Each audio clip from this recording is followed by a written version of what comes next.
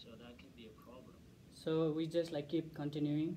If Yeah, you just if I get disconnected, you just continue it. Can Yes. you be the host? Okay. okay, yeah. Should be okay. I have my laptop. Mm, yeah. Supposed to be uh, start from around 11, uh, around one o'clock. Oh, around one. But I think we should be done by that time, right? Could be, but they said it's around one. Oh, around one, not exact. Okay. It lasts for about two and a half hours. Okay.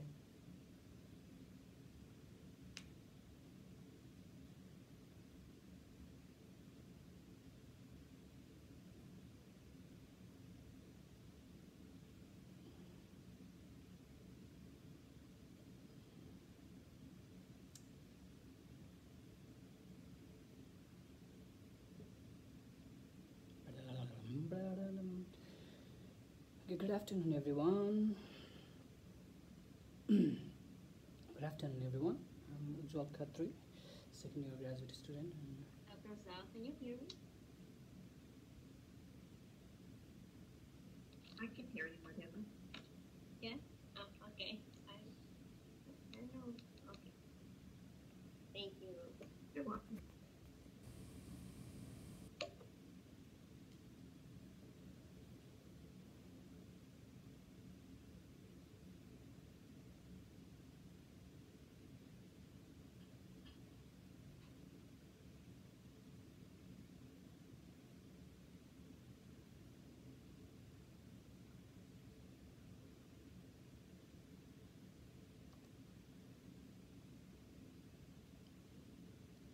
Hello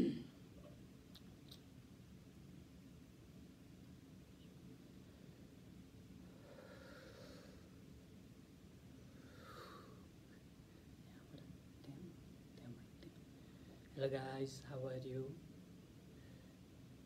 नमस्ते सबैजनालाई आज चाहिँ म मेरो cancer रिसर्चको बारेमा केही भन्न गइरहेको छु। मेरो प्रेजेन्टेसन छ आज। Department of प्याथोलोजीमा university of Oklahoma health science सेन्टरमा म पिएचडी गर्दैछु। र यो चाहिँ आज हाम्रो मन्डे लन्च र आफ्टरनुनको प्रेजेन्टेसन हो। त्यसमा म चाहिँ लङ क्यान्सर र थाइरोइड क्यान्सरलाई चाहिँ हामीले कसरी निको पार्न सक्छौँ? स्पेसिफिक कुनै एउटा म्युटेसन रेड म्युटेसन भएको क्यान्सरहरूमा भन्ने बारेमा चाहिँ म भन्न जाँदैछु यस पछाडिको प्रेजेन्टेसन चाहिँ अङ्ग्रेजीमा सुरु हुनेछ। ध्यान दिएर सुनिदिनु होला। केही बुझौँ भएन भने हजुरहरूले मलाई सोध्न सक्नुहुने नै छ।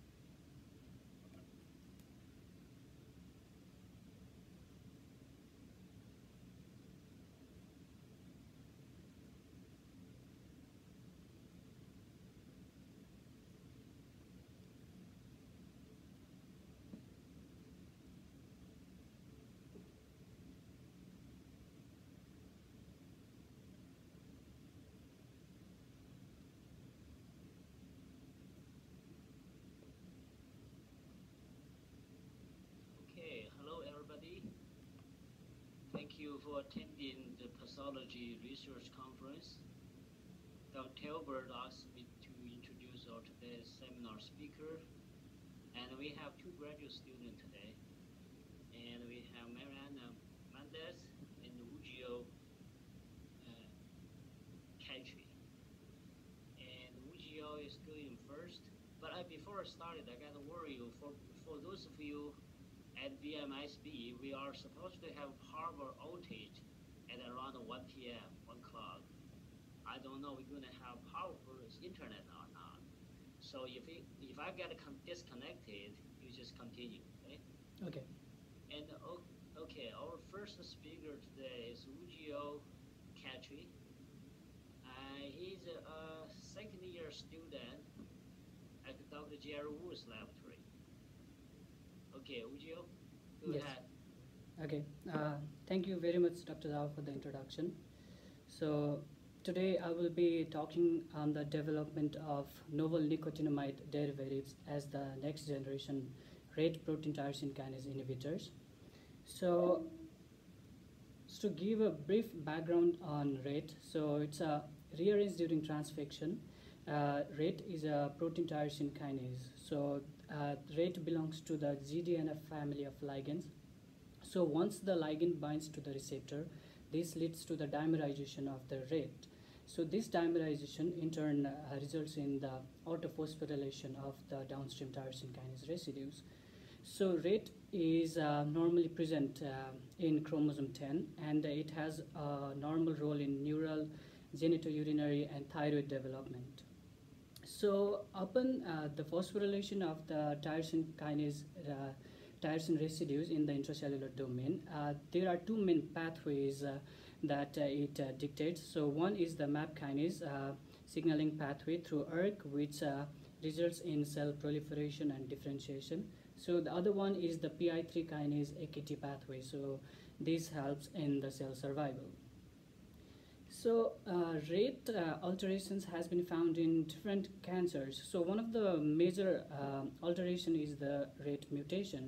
So in sporadic medullary thyroid carcinoma (MTC), it's uh, like more than 60% of the cases have been found to have the rate mutation, whereas more than 90% of the patients have like hereditary mutation in rate. So here to illustrate one example, one of the most common mutation is the rate M918T mutation in the kinase domain.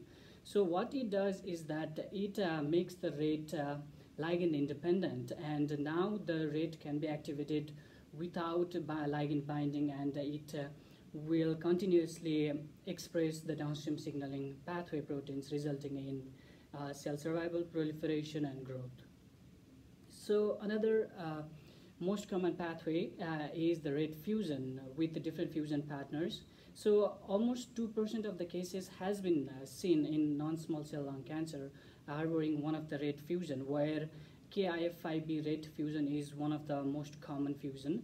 And also uh, about 10 to 20% of the fusions has been found in papillary and other thyroid carcinomas where we find CCDC6 rate or NCOA4 rate fusions. So uh, the rate fusions are also seen in multiple other cancer types, but it is uh, very rare. Uh, here we can see it's less than 1% in all those different kind of cancer. So uh, the theory is the same that now the rate is ligand independent and it can activate the downstream signaling pathways through the dimerized rate fusion partners, which results in uh, cancer in both uh, lung cancer and thyroid carcinoma.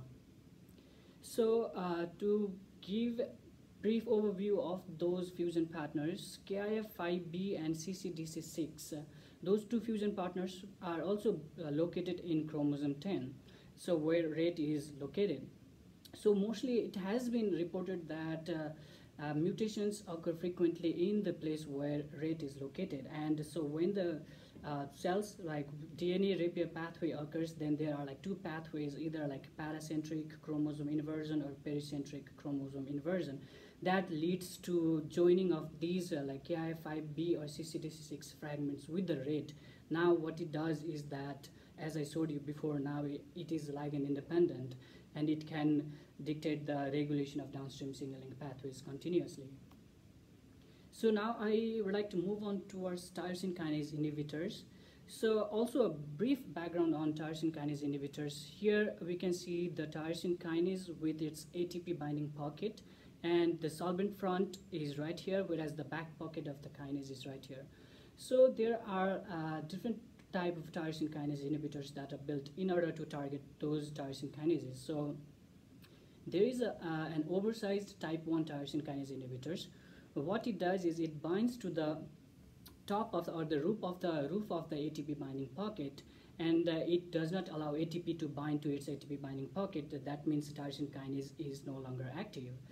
So when we treat uh, for a prolonged period of time with these type of tyrosine kinase inhibitors, it has been found that uh, the tyrosine kinase develops mutation in the solvent front mutation site or the solvent front site right here. So now this tyrosine kinase inhibitor cannot bind to its original binding site and ATP can go and bind to its original ATP binding site. Now the tyrosine kinase is active. We are not killing the cancer cells. So also Another type of uh, tyrosine kinase inhibitor is the oversized uh, bulk uh, type 2 tyrosine kinase inhibitor. Now what it does is that it binds to the uh, roof of the ATP pocket as well as it is able to reach to the back pocket of that ATP binding pocket. So it also works similarly that it is competing with ATP and uh, does not allow ATP to bind to it. But then there is another problem of uh, acquiring the mutation. Now the mutation is acquired at the gatekeeper site inside of that ATP binding pocket. So this drug cannot bind to uh, its original binding site again uh, as normally it would. Now ATP can bind to it, then the cancer cells can survive because the tyrosine kinase is active. So uh, there has been like multiple researches and there are many uh, drugs available in the market now. So using like small uh, molecular like inhibitors like a type 1 small and compact what it does is that it is small that it can avoid both of those uh, gatekeeper site as well as the solvent front site and still like uh, compete with ATP and does not allows like allow the ATP to bind to its original site.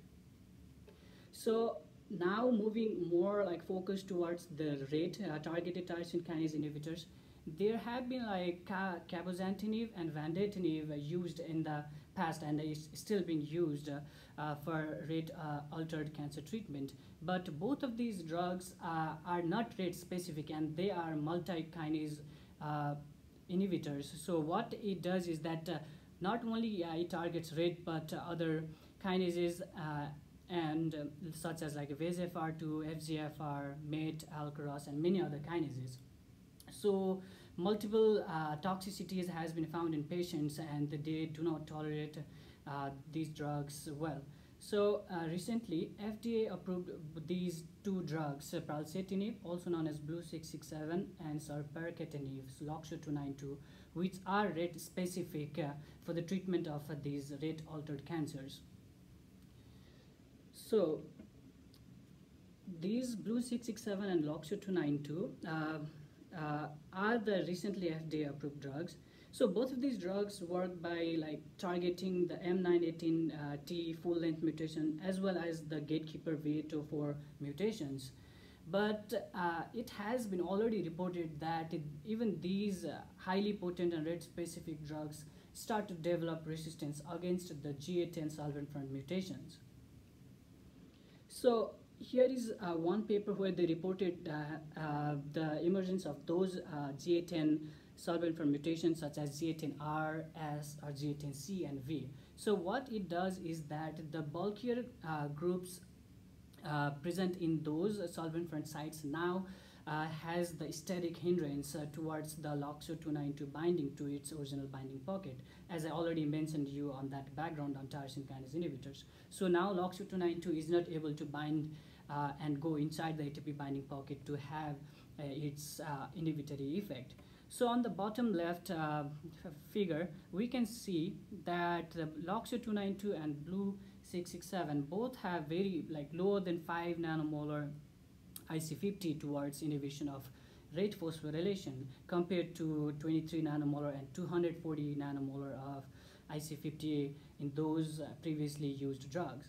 But when they have these uh, solvent from mutations, such as in this case the GA10S mutation, we can see that LOXO 292 and Blue 667, the IC50 is increased uh, very significantly compared to those just the wild type without any uh, solvent from mutations.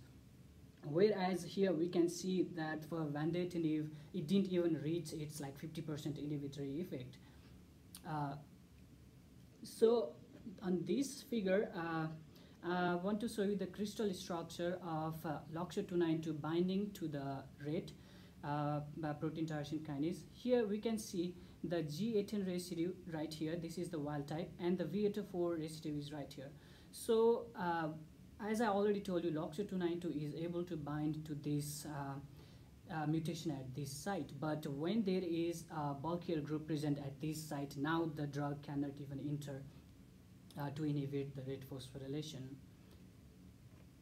So, uh, Dr. Singh team uh, at Purdue University, uh, our collaborator, started to uh, think about the possibility of using ponatinib as a potential tyrosine kinase inhibitor. So, ponatinib is a drug uh, normally used to treat chronic myeloid leukemia or Philadelphia chromosome positive acute lymphoblastic leukemia. So here on this on this crystal structure, we can see the FGFR1 ponatinib binding interaction, and this uh, G567 solvent front residue is sitting here, but the drug does not even reach to this pocket. That means it is able to. This is the hypothesis that even if there might be any mutation in this site, the drug will still be uh, able to enter the site without any interference. So Ponatinib has a wide array of kinase inhibition. Um, so you are targeting multiple kinases, and it also has uh, many cardiovascular side effects. So what uh, Dr. Sintim came up with the idea is that to tweak the uh, side chain R groups are the internal components of the rings itself in ponatinib so that we can specifically target rate without having a lot of uh, off-target effects. So here uh, I, try, I want to show you one example of uh, uh, developing one analog from ponatinib, which is attrition 608. So here we uh, remove the methyl group on this ring uh, by adding nitrogen. And then also we changed the methyl like, uh, carbons to nitrogen on this, these rings.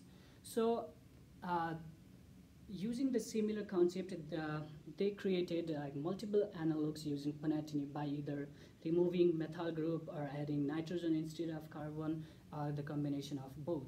So uh, they utilized the main concept of necessary nitrogen, which means that instead of carbon, if we have a nitrogen, then it is able to have more intra and intermolecular interactions within those protein tyrosine kinase residues. And uh, not only it has to interact directly to the residues itself, but it can also form uh, hydrogen bonds with the other water molecules that is in turn interacting with those protein tyrosine kinase residues. So in our lab, we screened over 55 of those compounds using our BAF3 uh, KIF5B rate uh, cell lines, uh, which has both the gatekeeper V84 mutations as well as sorry as well as the solvent front mutations, uh, which are G18C, G18R, and S. So we used um, the 20 nanomolar concentration of drug just to do a preliminary screening based on the IC50 of ponatinib, which uh, we had done before. And we also used LOXO292, BLU667, and ponatinib as our control. So from this screening, the first step was to see the 50% inhibition in the cell viability. Then we again cut off those cell viability to 25% and then selected the top 10 potent uh, uh, nicotinamide analogs for further experiment and to do a full IC50. So here uh, we did a full IC50 of all those like uh, 10 compounds compounds and the controls. Uh, for this, uh, we use the cell titer glow assay by culturing the cells and treating with increasing concentration of those drugs for 72 hours.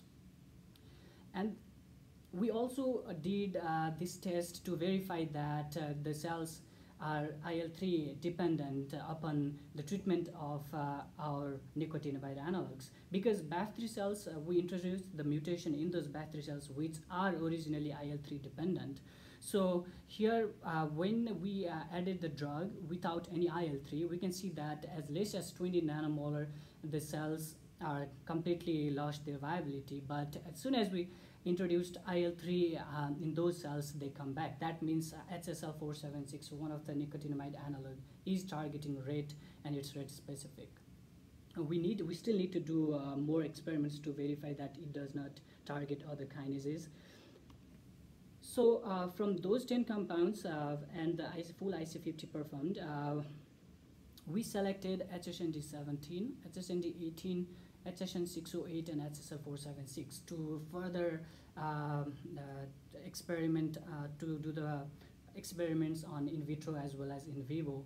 So just to uh, give a quick outlook of this table that we can see, for example, HSND 17, uh, the IC50s are less than 30 nanomolar, but here we can see for LOXO or blue, they are almost like 2 micromolar uh, and 7 micromolar, which is uh, very drastically uh, increased IC50 that shows the level of potency of these nicot nicotinamide analogs. So uh, we did, uh, we performed a Western blot experiment uh, using both the controls and the nicotinamide analogs. Here on the left uh, are the Western blots for our controls LOXO 292 and Blue 667.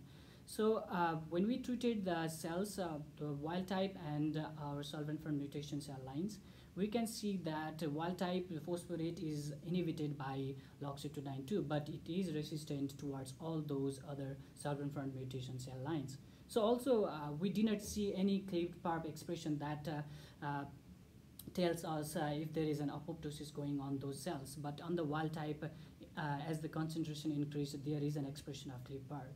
So the same thing happened with Blue 667. Um, it is also able to inhibit the KR wild type but is resistant towards, towards the solvent from mutated cell lines. So on the right uh, is one of the nicotinamide analog HSND17 and here we can see that the rate uh, phosphorylation was inhibited in as less as 40 nanomolar concentration. So for this experiment, uh, we treated uh, those uh, these cells with uh, the drug for four hours for the phosphor phosphorate expression and also we saw an increase in PARP expression in all four cell lines, including wild type, the gatekeeper VA24M, and Z10C and Z10R solvent for mutations. So for the cleaved PARP, we treated the drugs, uh, the cells with the drug, these concentration of drug for 16 hours. So uh, it is clearly uh, visible that uh, in the like, in vitro setting, we can see that SHND17 is more potent in inhibiting these um, mutation introduced cell lines. So uh, to further verify and check the efficacy of these drugs in vivo, we used the solvent for mutation introduced cell lines BAF3, KRG10C. So once the tumor reached an optimum size of around 0.8 centimeter, we started the treatment uh, with uh, these drugs, either vehicle, LOXO292 as our control, or these HSND17, 476, or HSN608 as our treatment groups.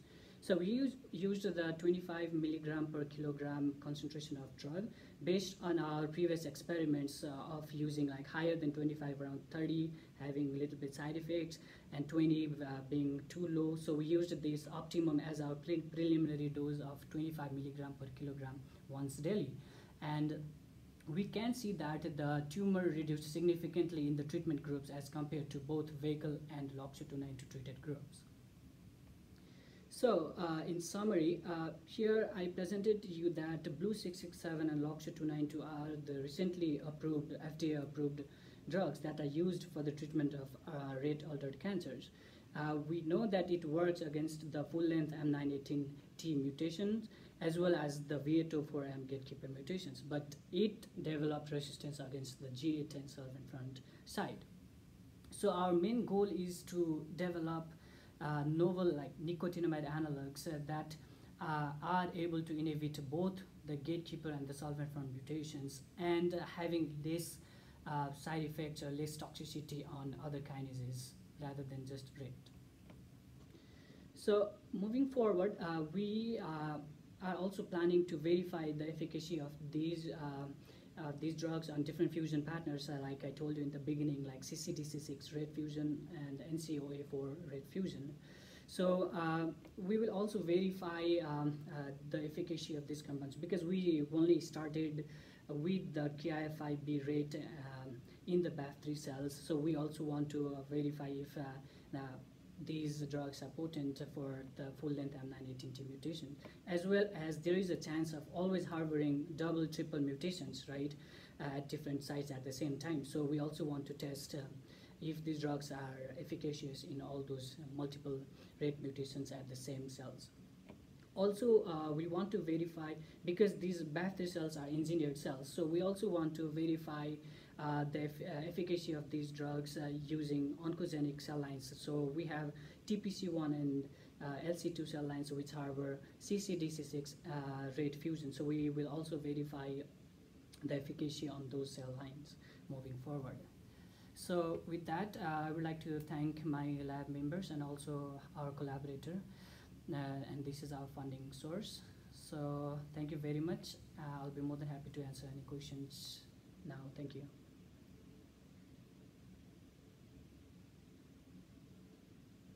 All right, thank you. Your questions?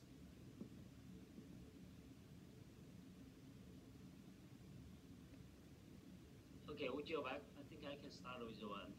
So apparently, of course, next step will probably do some in vivo work. What's your plan now for the in vivo study with animals? Yes. So that was the preliminary experiment we did, right? So uh, we have to screen more compounds first to uh, verify, uh, to I think select a few from this large pool of drugs.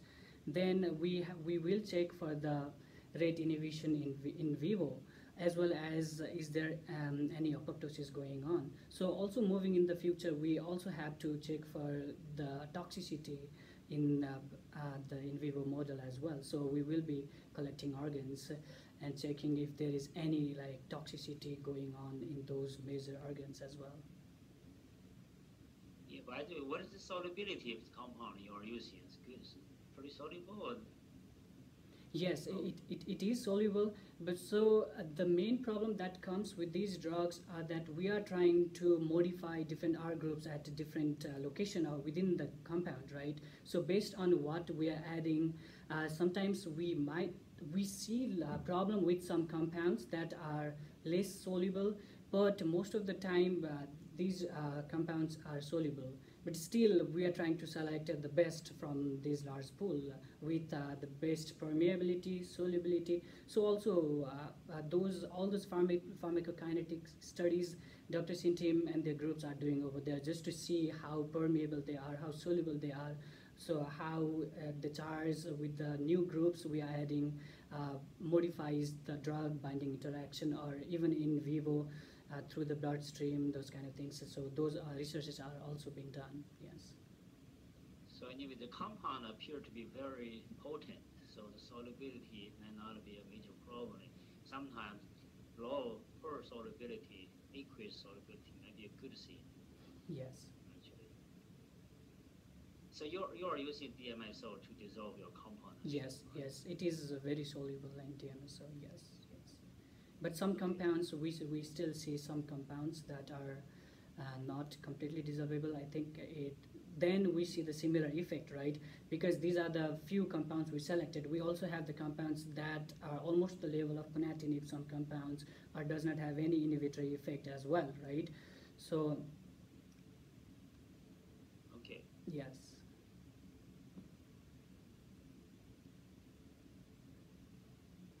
Any other questions?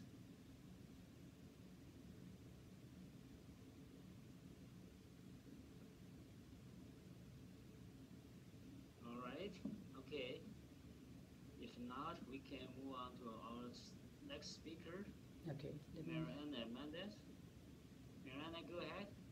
Okay, thank you.